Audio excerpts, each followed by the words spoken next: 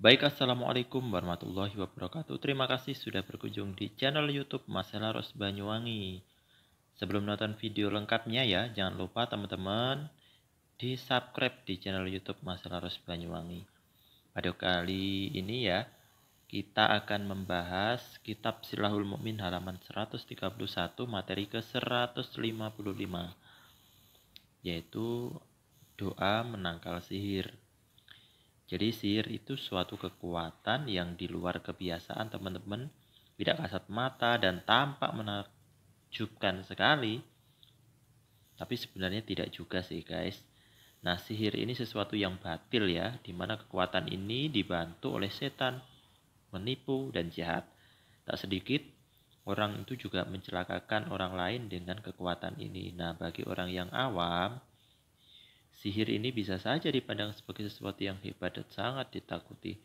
Namun karena sihir adalah batil, ia dapat ditangkal dengan sesuatu yang hak dan datang dari Allah. Agar Anda tidak khawatir dengan diserang orang lain ya guys, dengan kekuatan sihir ini, kita dapat melakukan amalan sebagai berikut. Yang pertama, puasa sunnah ya satu hari pada saat weton atau tanggal kelahiran berdasarkan tahun hijriah. Jadi masing-masing orang berbeda ya wetonnya. Pada malam hari tidak boleh tidur sehingga sampai terbit matahari. Tetapi boleh makan apa saja tidak ada pantangan. Sudah terbit fajar dan salat subuh, bacalah ayat di bawah ini. Ini bacaannya.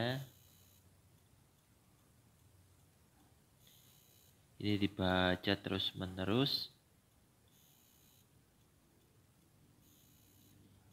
Oke, lanjut di halaman berikutnya, guys.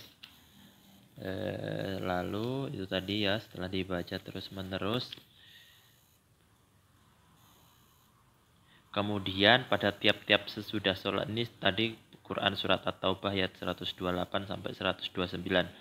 Kemudian pada tiap-tiap sesudah sholat lima waktu ayat tersebut dibaca satu kali. Dengan demikian maka amalan ini insya Allah e, berfungsi kita tidak mempan oleh sihir apa pun. Mudah-mudahan bermanfaat. Jika ingin video lebih lengkap, dibaca di kitabnya Kitab Silahul Mukmin bisa beli di toko kitab terdekat. Terima kasih. Wassalamualaikum warahmatullahi wabarakatuh. Jangan lupa di subscribe ya guys.